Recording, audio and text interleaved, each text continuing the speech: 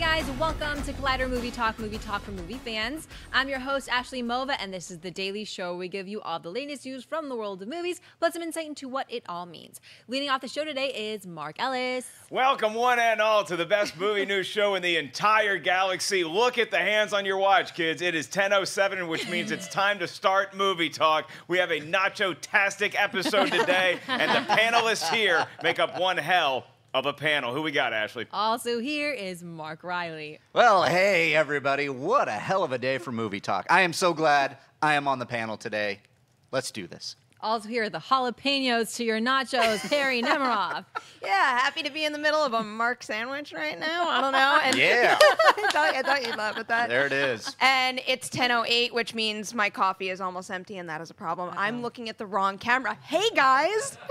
Thanks, Mark's Cody. sandwiches are the tastiest of all the sandwiches. Ask anybody who's ever been to your local Arby's. Ashley, what is the first movie news story we got today? Uh. Production is finally underway on the long in development Tomb Raider reboot, and now some new set photos have been revealed, giving us our very first look at Alicia Vikander's Lara Croft in action. Vikander steps into the role of Croft, the only daughter of an aristocratic family who ventures out into dangerous locations in search of ancient artifacts with supernatural powers. Norwegian director Roar Uthaug, who directed The Wave, helms the Warner Brothers reboot, which also has Walton Goggins set as villain father Mathias Vogel, Daniel Wu as ship captain Lu Ren, and Dominic West as Croft's father, Lord Richard Croft. The film is slated for release on March 16, 2018. Mark, what do you think of the first look at Alicia Vikander as Lara Croft? Well, uh, my first uh, instinct whenever I see pictures like this is I want to know if that's like a wire that you're going to see in the movie, like she's propelling down something, or if it's something that they're going to like green screen digitally take out. I think they're going to take it out because she's like hanging on to like some sort of log or something, and she's about to fall off, but she's going to maintain her balance. Why? Because she's Lara Croft, and Vikander looks exactly like the video game heroine that we've come to know from the Angelina Jolie movies, sure, but more so these Tomb Raider video games. I think this movie looks spectacular. I'm not going to jump to say this is going to win an Oscar because I saw some cool pictures, but we want to see Lara Croft in action doing dangerous things. That's what these pictures seem to indicate, so it's a nice first look at Tomb Raider. Perri, you're the jalapeno spice here today. Oh, What's your boy, hot That makes me the expert, right? These look great. I'm excited for the movie because of her and the director. These are just some behind the scenes paparazzi style photos, but you know, she looks right in the role, so I guess that's all I could really ask for right now. And I'm pretty sure they're going to take that wire out digitally. Yeah, it and is now not that I, meant to when be you there. get to see the full scope of everything, Reilly, it also looks like that boom mic. Probably you're not going to see on camera as well. No, I, I hope we don't see that boom mic. Uh, that would be some bad filmmaking. But uh, It'd be some bad judgment on Just, Croft's uh, part. Like, I'm gonna go look for this ancient artifact, but I'm gonna bring a boom mic with me. yeah, you getting this as I'm in the tomb? Okay. No, these look great. I mean, what can I say? It looks like uh, some eagle-eyed paparazzi. We're getting our first look with Alicia Vikander. And here's the thing: when these came out, everybody started uh, tweeting at, at Collider at me for to talk about this on Movie Talk. I was very surprised at how excited the fans are to see this. They really want a Tomb Raider movie, and I, I she looks straight out of the video game. That's what I saw across the board is how great Alicia Vikander looks as Lara Croft, and that's what I'm getting from this. I, you know, I was hoping for an official image. I, I don't think Warner Brothers wanted, maybe they wanted this out, maybe they didn't, but. Um, the buzz is fantastic. That's that's what I'm seeing from it. Everybody loves this. I'm excited. I want an official image. I can't wait to see what we have. Roar Uthaug is an amazing director. Mm-hmm. The Wave is an amazing movie. So i i if any indication of his talent with this and Alicia Vikander, we're going to get a great video game adaptation. Maybe the best one ever. Now- Ellis, if you had seen the wave, you would be so so confident that Roar Uthaug would never put a boom or a wire in his movie because he directs some incredible action sequences. He's got this. I mean, here's the thing I'll say is that I, this, these are clearly not official images from Warner Brothers, but I don't think it bugs the brass up there that these came out, that mm-hmm. people No. are starting to talk about Lara Croft Tomb Raider in advance of a year before the movie actually comes out. But Reilly, you brought it up, so Perri, I'm going to ask you first. Do you think, do you have any more confidence in this picture previously to seeing these pictures that this is going to be the film? Way too much pressure on its shoulders, granted, is going to turn the tide of video game movies and get us back to the greatness that was the first Mortal Kombat. I despise that question, but I like the Mortal Kombat reference. Yeah, I, I don't know. I am afraid to get ahead of myself and make any predictions based on early paparazzi photos. That's what we do on this show, damn it. Given the cast and crew, I I think this thing is in good shape. You know, we had the Assassin's Creed blunder where I'm sure I said the same thing, you know, two years ago, but I just want to, I really just want to be hopeful and think positively. And at this point, there's really no reason to think any other way about this movie. Everyone involved is like top notch. She, she's a freaking Academy Award winner. Come on. Reilly, where's your confidence level? My confidence level is very high with this. Not only, as you mentioned, we have the great director behind the scenes, we have a great Oscar winning actress as Lara Croft. We also have a fantastic film company in GK Films that has been shepherding this project for a very long time. They've done The Departed, they've done Gangs of New York, they've done Hugo, which I enjoy. They've worked with Scorsese. They're working with great people out there.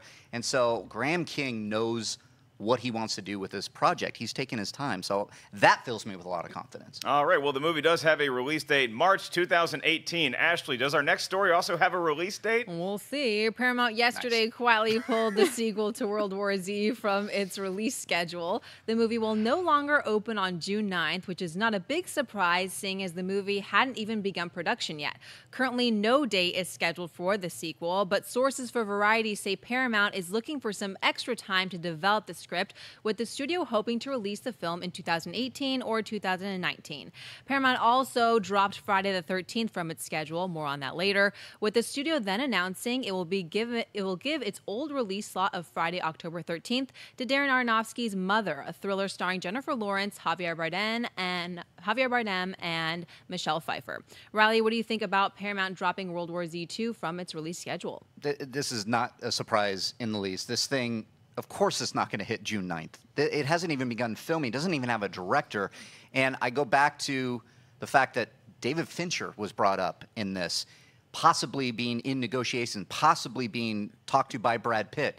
But we've heard squat since. And so going peeling back a little further, what is going on with World War Z? Is this a repeat of the first one where we've had so many problems behind the scenes where they have to rewrite the, the last half of the movie and then do a ton of reshoots? We're not even filming yet. So on the surface, it's like, well, yeah, we're going to take some time. We're going to give it, give the script another pass. We're going to find a great director, and we're going to hold off. We don't need to hit this June 9th date. Can you imagine if they're like, oh my God, oh, here, you direct it. Go, go for it, McG. Let's go that would be awful. That, so I'm glad they're taking their time. I enjoyed the hell out of World War Z. I thought it was a great movie. I thought it was a great addition to the zombie genre. I want to see what they do with this. So get a great director. Take your time. Don't don't get scared. Don't let people like us scare you about oh my god what's going on behind the scenes they just need a little bit of time yeah you bring up a great point is that the reshoots that they had to do in the first world war z were extensive and that cost a lot of money so world war z even though it made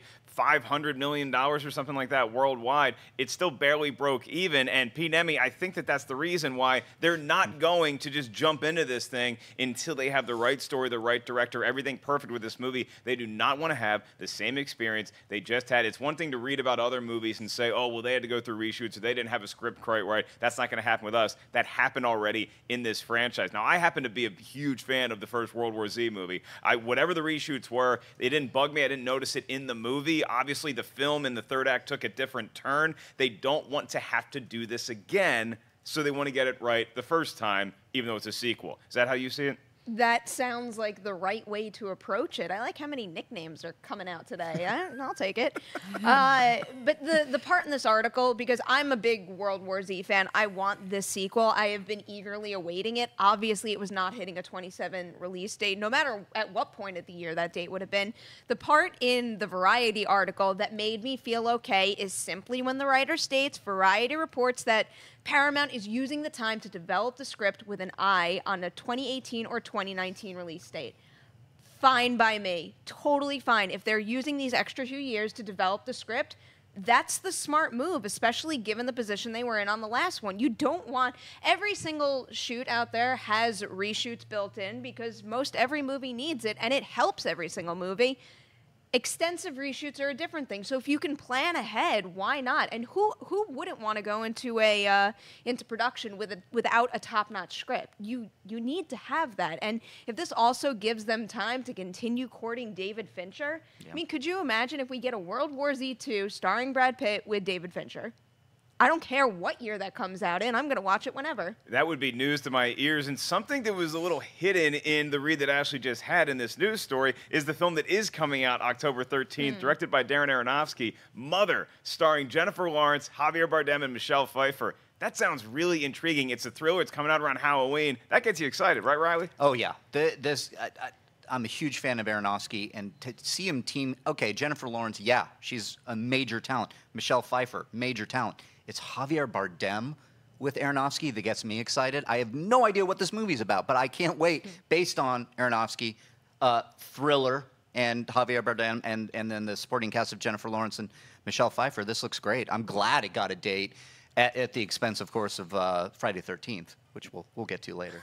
Perri, we talk about a movie called Mother. Now, you would assume Jennifer Lawrence or Michelle Pfeiffer would be playing Mother, but based on previous haircuts that Javier Bardem has had in movies, he could be playing a really creepy Mother too, right? Uh, yeah, no, I'm gonna bet against that. Uh, but I'm really excited that uh, Domhnall Gleeson's in this too. Let's throw his name out there. This thing is an incredible cast. Darren Aronofsky. I mean, I don't know if you'd call October 13th a, uh, an, an awards-worthy spot for something like this, positioning itself for award season next year, but. This is good news. So you know, if this, if a release date shuffle lands this in this slot, perfectly fine. I don't mind all this. Paramount, I got my fingers crossed for you on every project. All right, well, it was a gray sky story, but we had a silver lining. Ashley, let's see what's opening this week in theaters. All right, first is Fifty Shades Darker. Daunted by the singular taste and dark secrets of the handsome, tormented young entrepreneur Christian Grey, Anastasia Steele has broken off their relationship to start a new career with a Seattle independent publishing house.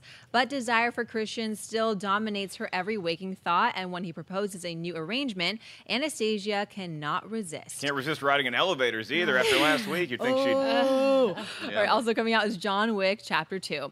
Retired super assassin John Wick's plans to resume a quiet civilian life are cut short when Italian gangster Santino D'Antonio shows up on his doorstep with a gold marker compelling him to repay past favors. All right, well, some disappointing news for no one out there is that I am missing Fifty Shades Darker. Our screening is officially tomorrow night on Wednesday. I'm going to be here doing the Schmoes Know live show. I know Christian's going to go see it. He's to see it. I don't know how excited he is, but John Wick 2 is something I did get the chance to check out last night. Our review is going to be up a little bit later, but if you are a fan of the first John Wick movie and you want to see more of the same style, the gun fu action, a lot of cool shots, a lot of inventive imagery, John Wick 2 is probably your movie. I had a big smile on my face leaving that theater. If I gave you the option, Perri, between seeing John Wick Chapter 2 or riding in an elevator with Fifty Shades Darker, which one are you taking? You're giving me all the tough questions today. I don't like this. Uh, yeah, John Wick 2. I'm dying to see that movie. And at some point, we will edit my stunt video from that event last week and show it to you. And it was super cool. And they made me look like John Wick until. Really? Yeah, it was kind of cool. They give you uh, like little fake air guns and you shoot all their stunt people. And, you know, I, I basically put this much effort into it, but their stunt people are like acrobatic crazy people. So they just go flying and it looks like I've like flipped someone over. That's right. So yeah, that'll that'll be seen eventually. But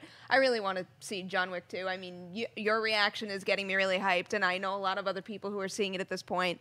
Fifty Shades, I don't know. I was planning on going tomorrow night, but now another screening opportunity has popped up, and I think I'm going to go see that genre film instead. Absolutely. Well, McCoog and I, we got to do CIA training one time. We had Air M4 guns, which is also a gun that is featured prominently in John Wick Chapter 2. I hate guns. I'm terrified of them. Reilly, have you ever shot an air gun? And which movie are you looking forward to? Uh, never shot an air gun. I've shot a real gun. Oh, boy. a well, shotgun. that's, a, that's a story we don't need to go That's into. we don't need to get into Yeah, that. leave, Um, a, leave a trail of breadcrumbs before you spin that yarn. There you go. Um, yeah, by far, Fifty Shades Darker is what I want to see.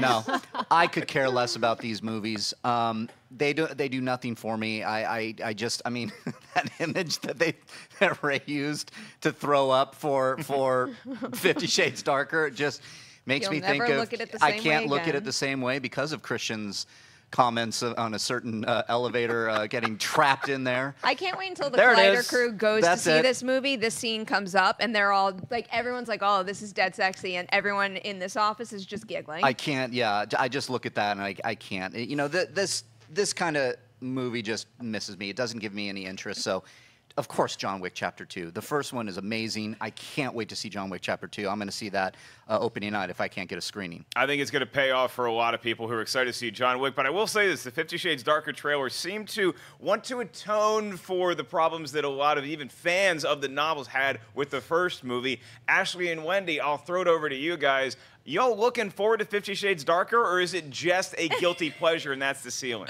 All right, I know I'm going to be the lone wolf in this one, but I'm going with Fifty Shades Darker.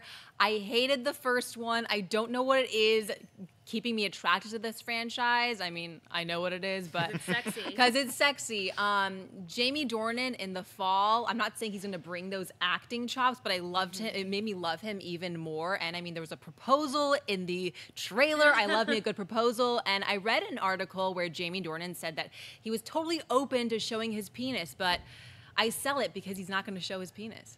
Wow. So he was open Okay. to it, but he just decided against Like, it. Like, what kind of actor says, "Yeah, I'm open to showing my penis," and the director says, "No, no, no, no, no penis, no penis, please."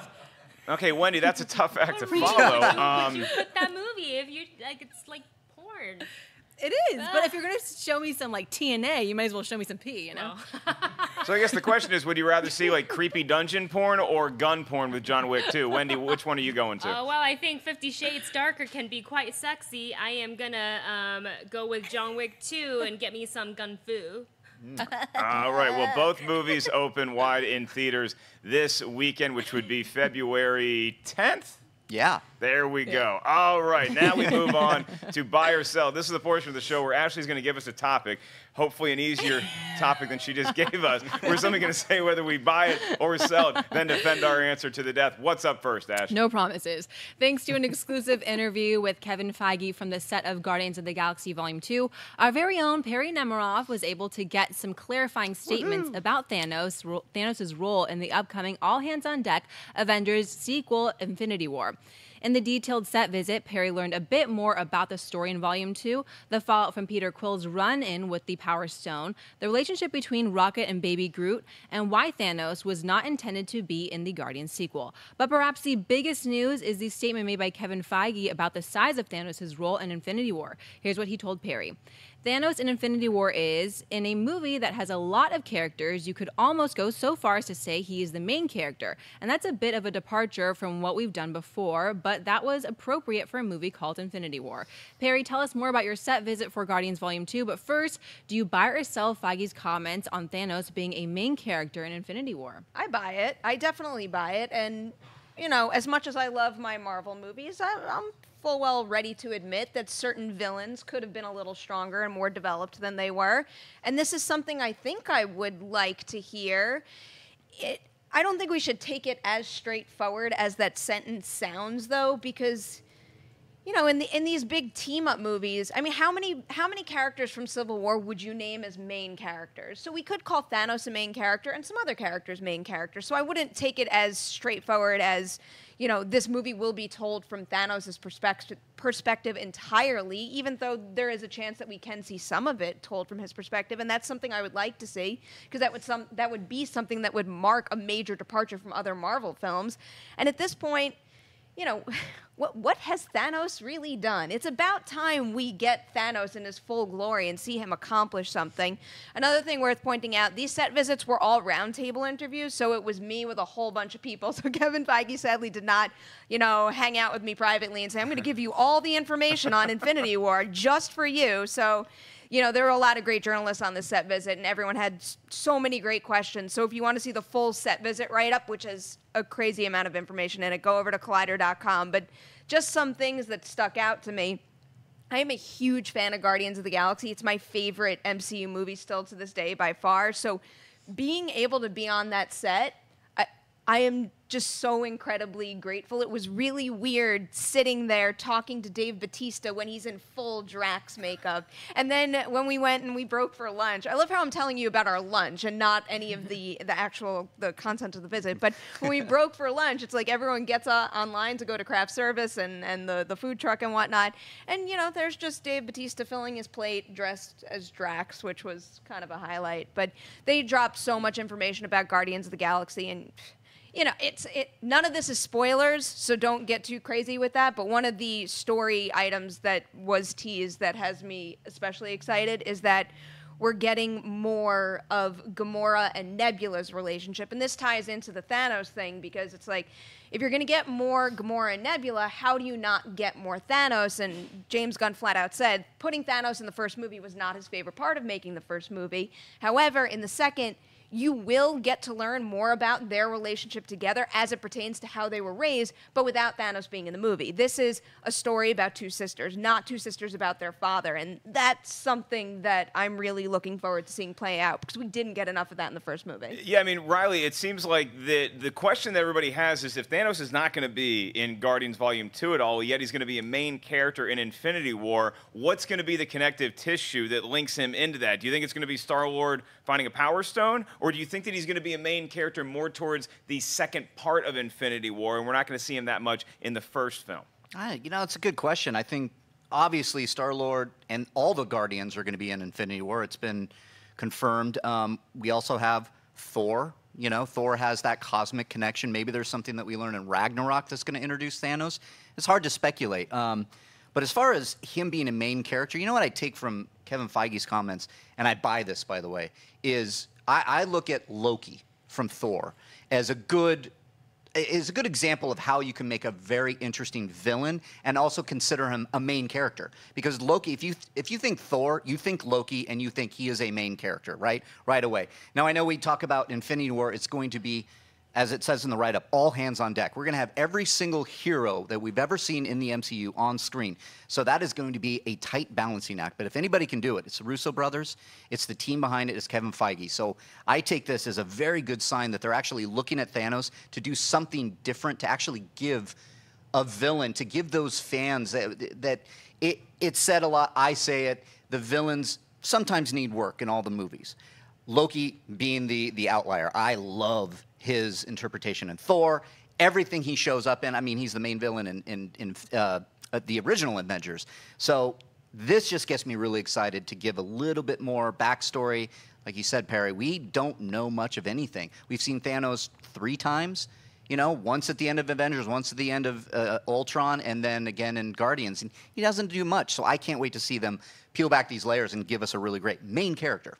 So you're going to buy it as well. Oh, yeah. I'm also going to buy it for this reason is that as Reilly pointed out Loki has been a main character in a Marvel movie. Red Skull has been a main character in a Marvel movie. I think the complaint that a lot of fans have is that the villains haven't always stepped up to the plate in the way that we wanted. I am sure that Marvel has heard that. I am sure that Marvel is clearly aware that we want a little more meat from our villains and Thanos is the guy to do it. I don't think there's a whole lot of pressure on Guardians Volume 2 to have to introduce this guy because remember, we get Thor Ragnarok coming out too after Guardians and that could be the thing that links to Infinity War. You're also going to have Black Panther coming out the next year. So we have some time to set up villains if we need to do that. But you got two Infinity War movies. You can also do a lot with a main character villain. I think Thanos is going to be the guy that we've all wanted to see from Marvel for a long time. And it's going to take the entire Civil War team to link back up and be friends again to take this dude down. It is so awesome you get to go on set and have a visit with Guardians, and you get to be in line and look at how much how much protein is on Drax's plate. I imagine it's a lot of grilled chicken breast. They they had an excellent lunch too, so I don't really blame him at all. That's one of the, actually forget about being on the set of Guardians of the Galaxy. The big perk of a set visit is to get some good food. They they really do treat their cast and crew well, but but really that that set visit was something else, and to be able to see Baby Groot in the flesh. Oh, Baby Groot just killed me. Oh, wow. He yeah, he is he very well He's might gonna steal the- oh, yeah. oh, yeah. He, Yeah. he really might steal the movie. And and just another thing I'm really hyped about is all the Ravager stuff we're gonna get mm-hmm. because I, I believe it was either Feige or Gunn that teased that something in the movie hints at the fact that Yondu's Ravagers aren't the only Ravagers because we're going to meet Taserface in this one, and there's some sort of issue with the Ravagers where they think uh, Yondu has gotten soft on Quill and they're not for it. So there's there's kind of a separation between the groups, and that's why we get that photo of Yondu with Rocket and Groot. So I'm looking forward to kind of learning a little more about what the Ravagers as a whole and beyond who we already know as being part of that group is about. I, I still think we're going to see Thanos in some sort of post-credit scene in Guardians Volume 2. But look, James Gunn appears to have made the movie he wanted to make, and we're still going to get this guy as the main baddie in Infinity War. So it's nothing but good news right now for Marvel fans. Okay, for our next story, before I throw it back over to Ashley, yes, it involves a movie that is in release and it has been out for a couple weeks. We're not going to spoil Split. So how about you guys do the same in the chat? We're going to be talking about it and some things that Shyamalan has tweeted, but please mind your fellow man and woman in the chat room that might not have had the chance to see Split yet. Thank you very much. We ain't spoiling. Y'all follow suit. What do we got, Ash? Now that Split is a bona fide hit at the box office, taking the number one spot three weekends in a row, it's no surprise there is already talk of a sequel. We'll spare you the particulars of the concept for those who haven't seen it, but you should see it. Now, director and writer M. Night Shyamalan confirmed the development of a sequel to Split as his next movie when he sent out a tweet over the weekend saying, I have an 11 page outline for my next film in my bag. I can't tell you what it is, but if you've seen Split, dot, dot, dot. Mark, do you buy or sell a sequel to Split? Oh, I totally buy because I've seen the movie multiple times now. The most recent time was this past weekend, and it got me even more excited for Shyamalan's future. And I'll, I'll leave it at that because this guy was on the ropes after movies like Lady in the Water and The Happening, and then The Last Airbender, and even After Earth, it's just like uh, it, maybe he lost his fastball permanently. Then he had the visit, and that was a nice par, and now he's got split, and it's got everybody talking about him, the quality filmmaker he is, and his trademark, which is leaving us with something different that we were not expecting. And that thing in Split could spell a sequel to that or something else that he wants to do down the road. So it might not be a straight sequel to Split. We don't this guy has a lot of crazy stuff going on in his head and that's why we like his movies so much. I'm going to buy whatever movie Shyamalan has coming out next and if it happens to be something in the Split universe, I am a-okay with that. Reilly, how do you feel? Yeah, I buy this. Uh, I, I buy everything that Shyamalan is doing right now. He, yeah, I, I was one back in his favor with The Visit. I loved it. I thought it was great. I thought it was interesting. Um, and then with this, I know we're going to talk around it. I've been wanting to talk about this reveal for so long, and I do it with everybody here at the office. I do it with my friends who have seen this. I am on Twitter, I'm on Facebook saying, go see this because that was the most fun I've had in a theater for an ending in a very long time, where I screamed out loud. I had fun. I had the entire row looking at me going, What?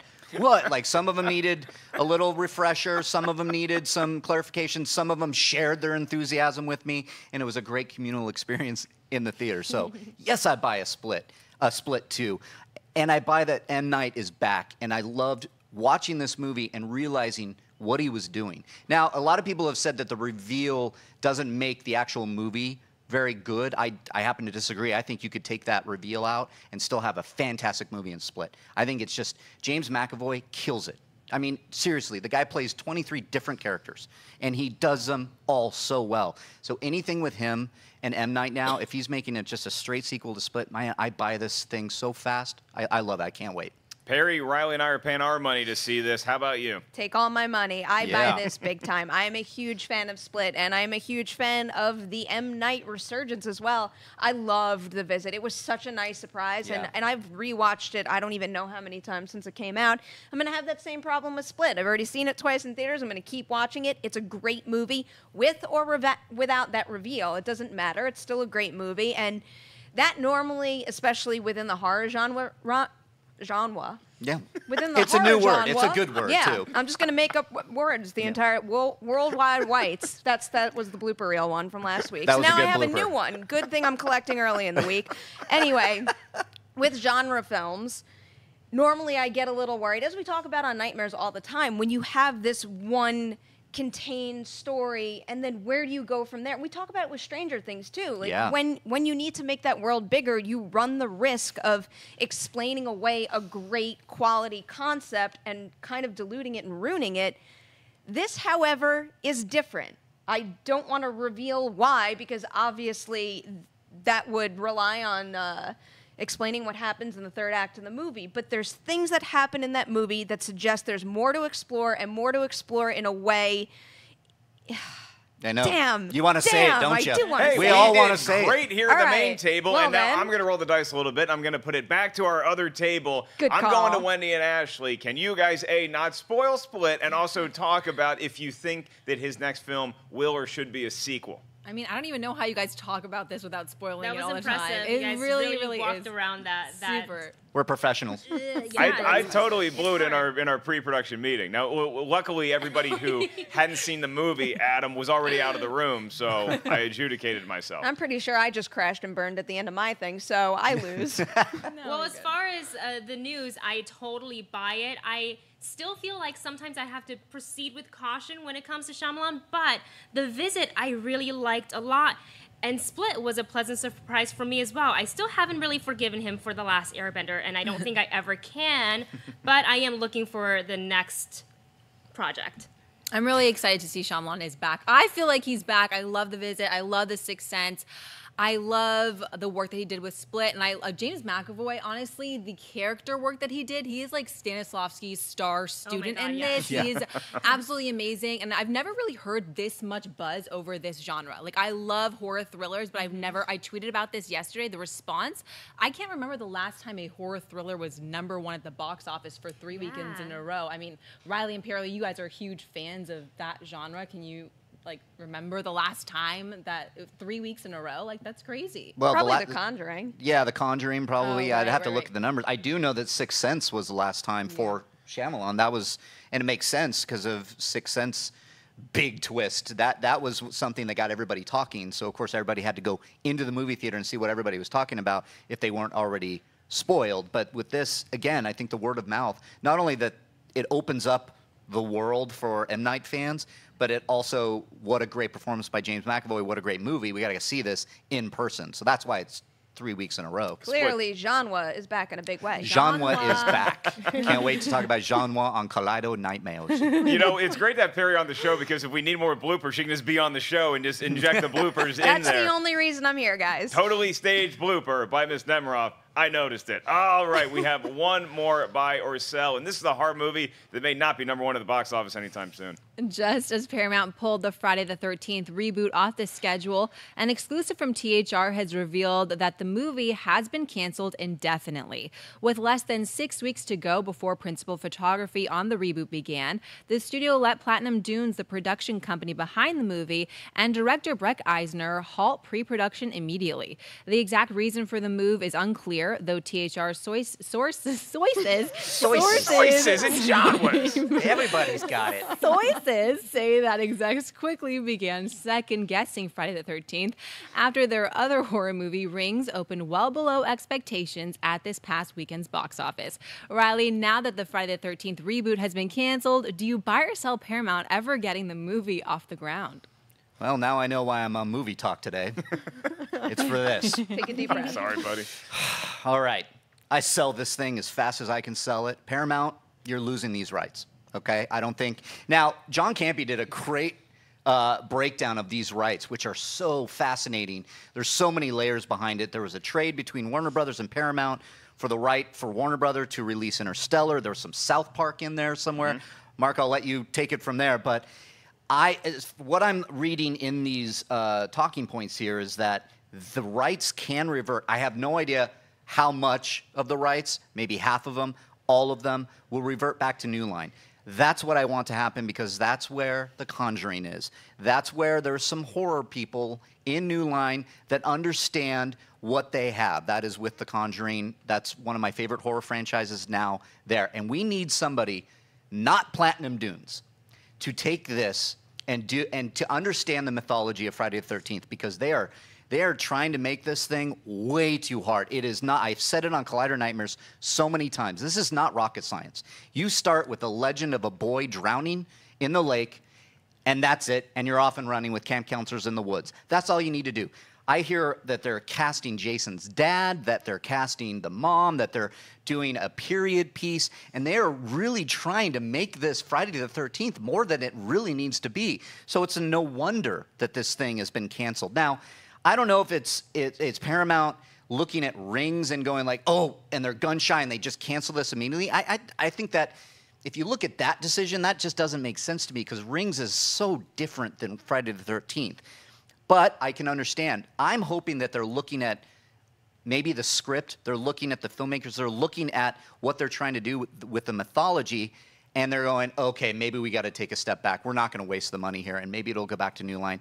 They, they said they were going to do a found footage at one point for a Friday the 13th movie. What are you doing? It is not hard. It is Friday the 13th. It is a guy in a mask with an axe. Go. I don't understand why it's so hard to do this. Well, no, because I want to meet his dad, Bob Voorhees. hey, sorry Elias, about my kid, everybody. The casting for Elias is a forest ranger. It, it just Yeah. You had doesn't. to say it.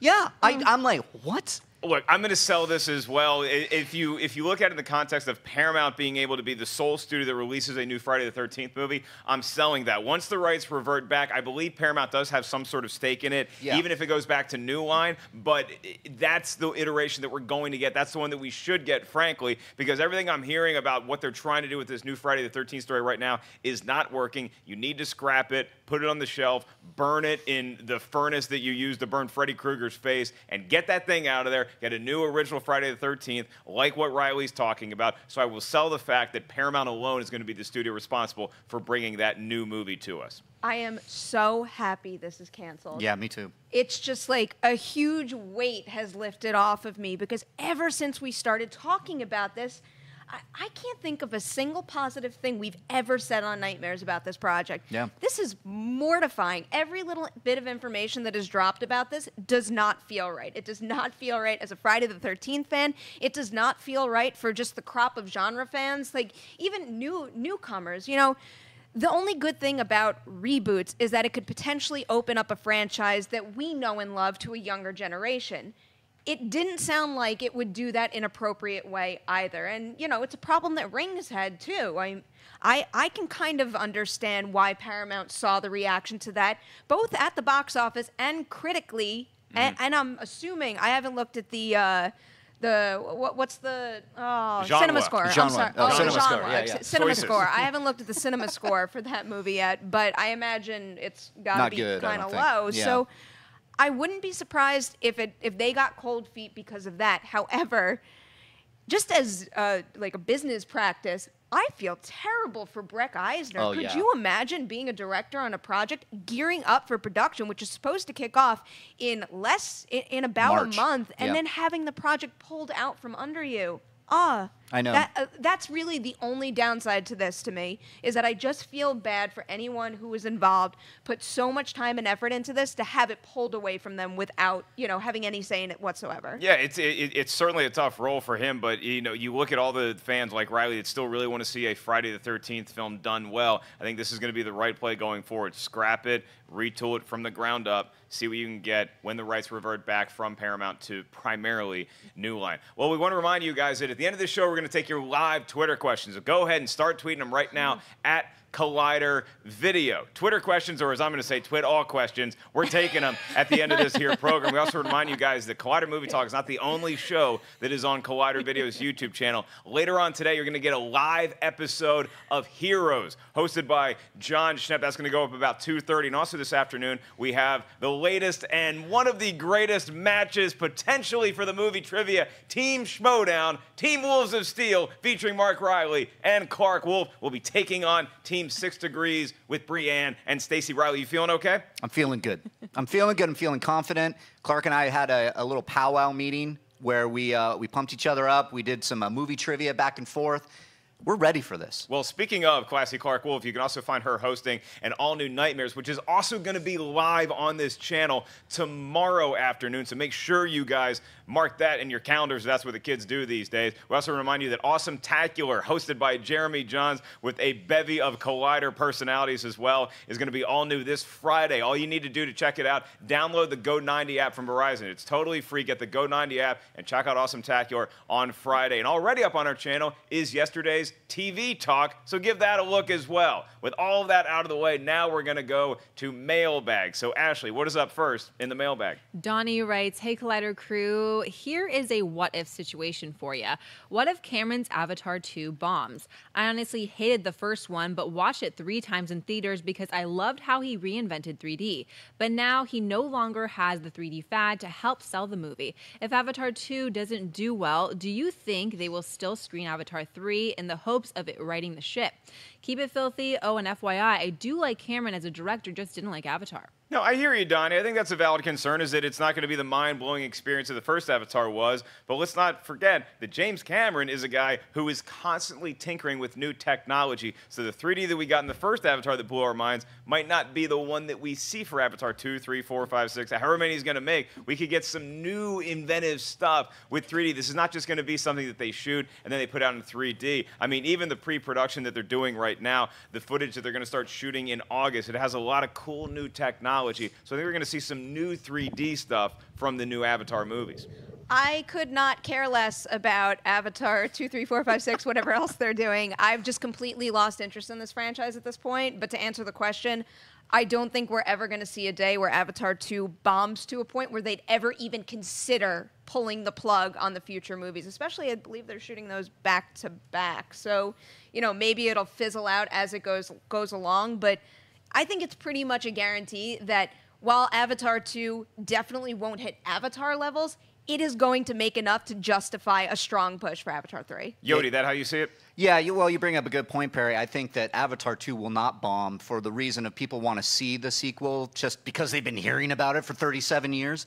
Or I think that by the time we get to either part 3 or part 4, probably part 3, if we get a less than stellar part 3, then I'd start to wonder are we going to get part 4 or part 5? Or how many? Part 7? How many is this guy doing again? He's 5 of them, I think. So it's not going to bomb, though. You, you said it, there's going to be some great new technology that he's probably going to utilize. So it'll be fascinating to see. Focus on the story, though. If we get like this a similar kind of meh story as the first one, then I think that the franchise is actually in trouble. All right. Well, I think Avatar 2 is going to do well. Avatar 3 does okay. And Avatar 4 you can find as a TV movie on the Hallmark Channel. All right. What's our next question? Steve writes, Hey Collider crew, should Warner Brothers make a Lego Superman movie? I would like to see more of Channing Tatum's performance as the Man of Steel, and like Lego Batman, make jokes on the current and past Superman films, TV series, and cartoons. Plus, who do you think they should get to voice the Lego versions of Lex Luthor and Lois Lane? Well, I'm pretty high off seeing the Lego Batman movie, so I want to see Lego versions of everything. I want to see Lego Star Wars, Lego Superman, Lego Aquaman. I want to see Lego movie talk. I love everything Uh-huh. that the Lego universe is doing right now. I don't know that you're going to get a standalone Superman, and I hate to. It, it's it, like I'm a fan of Superman. Reilly, I see you staring daggers into me right now. I just don't think it has quite the same appeal as a Lego Batman movie. If you were going to do a Lego Superman movie, sure, keep Channing Tatum as the Man of Steel. Lex Luthor, I'm going to give it to the guy who maybe should have been Lex Luthor, Bryan Cranston. Mm-hmm. And for Lois Lane, I'm going Mila Kunis because I love the way she does animated voiceover. Mm. Who do you got, P. Nemi? I think this is a possibility, especially if this movie crushes it at the box office. We went to that Collider hosted IMAX screening tonight that uh, that Steve did, and the director and the producer were there, and he had asked him, you know, why do you cast such big name actors in such small roles? And he flat out said, he didn't say, yeah, you're going to get movie like solo movies with these people voicing these characters, but the point of casting someone like Channing Tatum is just to leave that option there. I don't know how, you know, likely that option is at this point, but if people walk out of this movie and are talking about Channing Tatum as Superman, and he, you know, he does make an impression, you really never know. All right, Mr. Daily Planet Clark, what do you think? I, I think this is a. I think they should make a Lego Superman, not just because I'm a huge Superman fan, but look at if they can bring Superman to the forefront in the guise of a Lego movie. The Lego movie now is a brand to itself. So now we have Lego Batman, and we're getting a nice palate cleanser for all this nonsense of Ben Affleck and DC and all these things going on. And we get a really great Batman movie. From everybody, what you're saying, we have a great mm-hmm. Batman movie with some funny, with some with some action, with some Lego goodness. So why not Superman? We didn't get a proper sequel of Man of Steel. We we got 43 lines of, of Superman in a Batman v Superman movie. Why not get a Lego Superman movie and get that character back at the forefront of DC? He's one of the the all three. He's got we got Wonder Woman, Batman, and Superman. Why not a Lego Superman? I think it would be great. Bryan Cranston, I'm standing behind that. I think that's brilliant casting. I'm going Anna Kendrick as Lois, Lois Lane. We need somebody funny. That's and the I think she can nail it. Yeah, she can nail it. You know what someone put in the uh, live chat earlier? What's that? Lego Friday the 13th. Now that I would buy. That's how you do it. That's I'm how not I would do it. Okay, scrap all live action current universes, and I'm looking at you too, Avatar. Just nothing but Lego movies for the rest of the time, and everything will be awesome. Okay, that does it for mailbag. If you guys want to get your question read on the air, you can email us anytime, collidervideo at gmail.com. But now we go to at Collider Video with the Twitter questions I promised you, kids. Here to read the Twitter questions, Miss Wendy Lee. What do you got first, Wendy? Hey, everybody. Whoa. And in the long, storied, proud Hollywood tradition of whitewashing, I have taken over the lead role of the Asian female. First question on Twitter today comes from Little Tim Tim, who writes Hey, Collider crew, big fan. I've always wanted to know on a scale of Ryan Reynolds to George Clooney, how handsome is John Campea in person? What? Oh my That's a good one. Yeah. Yeah, that's. It seems like it might have been picked from a That's, Twitter uh, account. I, I, I John think I think I think Adam picked out the questions in advance. Okay. Well, look, if I was gonna if I was gonna cast John Campea as somebody, look, I, I could take Ryan Reynolds and make a good movie. I could take George Clooney and get a good movie, or I could take the guy who played Dr. Okun in Independence Day, and I could take the guy who played Data in Star Trek: The Next Generation, and that's my John Campea movie. Well, I won't put the rest of you on the spot, so we'll just move on to the next question. and the next one comes from A. Clay, who writes Hey, Collider Video, if you could change just one thing about the Oscars, what would it be?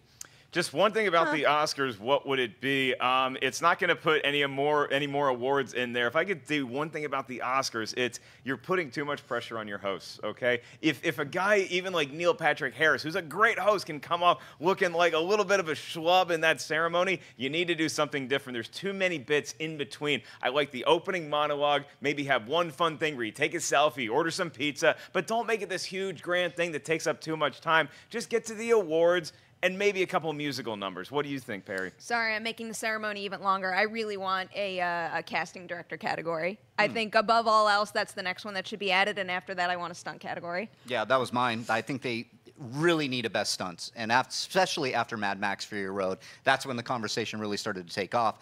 That's you have to. I mean, how many? We're in the blockbuster era where all these wonderful stunts are happening. These people are risking their lives. Come on, get a nomination. That's an easy one. Put it in there. That that's my pick. Oh, I know what I would change for real, though. In real life, if anyone at Mondo is listening to me, go back to what you did two, three years ago, and every single time they got to a category where something was the favorite, they unveiled a brand new poster. And it's Oh, like that's that good. that night, instead of watching my pool, all I did was refresh their Twitter feed so I could buy many posters. Nerd. That's pretty cool. Well, you guys won a best stuntman category. We go back to Wendy stuntman John Campea. All right, this one comes from Mark Simeons, who, uh, who asks Would you guys want a glimpse of Superman in the black suit when the Justice League trailers, the new Justice League trailers hit, or do you want them to save that till the film? Look, I love trailers and I love seeing cool reveals in trailers. When I see an episode 8 trailer, I'd like to see Luke Skywalker light up a green lightsaber and go crazy. I like that sort of stuff. Keeping Superman hidden from us, I mean, we, we saw a, a grave move a little bit. Keeping Superman hidden from us, I think, is paramount in Justice League to not rely on him in the black suit to sell that first movie. So I think you should keep that hidden. If it's going to be in Justice League, I prefer to see it hidden. Plus, it's Justice League. It's not like it's Batman starring in this movie. We have other superheroes we can push and sell the movie on. So I don't think you need to see Superman in the black suit just yet. Let's wait until the movie. I would have said no, I don't want to see it in the trailer, but given the fact that Henry Cavill, I believe, Instagrammed that Yep. photo, and now everyone's been talking about it, and I've seen so many, you know, images from the comics, I've seen fan created images of him in a black suit.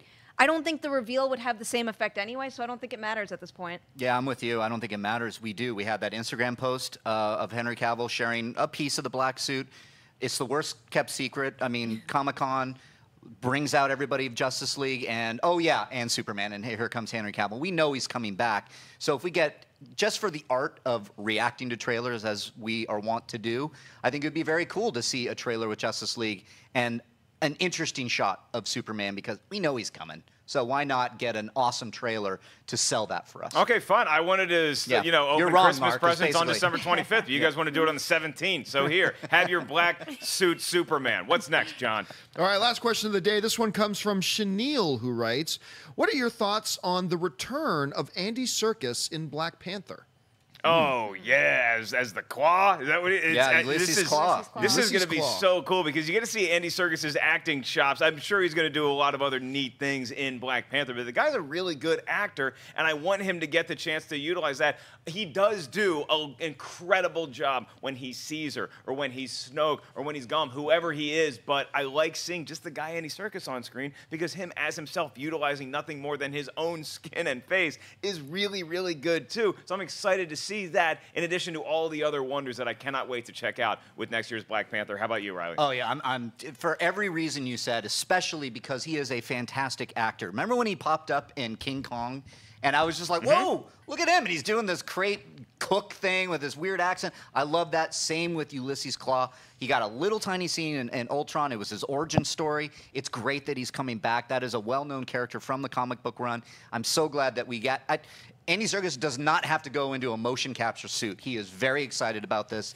I can't wait to see what he does. I absolutely cannot wait as well. I remember when they first announced his casting, all I wanted to do was see Andy Serkis in the MCU. I understand why he only got that much screen time in Ultron, but it is about time. I can't wait to see what he does in this movie. All right, well, that is going to do it for us here on today's episode of Collider Movie Talk. I have to go back to my cage where hopefully I get a crust of bread today for doing such a good job. I want to thank everybody in the studio with me, the aforementioned John Campea, all of the crew guys, Adam, and the other guy, Cody. I want to thank everybody up here with me on the panel today, too. Mark Reilly, where can the kids find you? Okay, you can find me at Reilly Around on Twitter and Instagram. And check out later today Wolves of Steel taking on Six Degrees. Six Degrees, you guys, uh, that's going to be a good match. I can't wait. And then, especially tomorrow, this is exciting. Collider Nightmares is going live. That's going to be a hell of a time. I cannot wait for that. So, Collider Nightmares tomorrow at about 1 o'clock.